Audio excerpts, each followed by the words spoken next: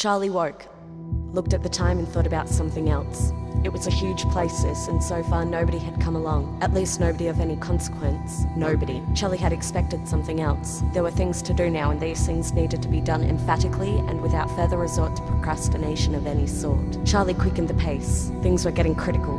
Somebody glanced at Charlie. Nobody. It didn't matter. Inconsequential. My legs are like steel springs. Who said that? Somebody said that. I don't know. I don't care. Not now. Even the brain was moving faster, faster and faster. This was better. Then Charlie thought of the car park and what the man had said, everything he had said, how the young man held himself back, the way he gestured, the way he just stood there. Charlie was pacing it out now. A ripple of steel went across the shoulders, stiffening the back and pushing the head upright. Resolve, steely resolve. Charlie stopped. It seemed like an infinity, just waiting, waiting, pacing yourself, breathing, careful breathing. It was then that Charlie reached into the bag.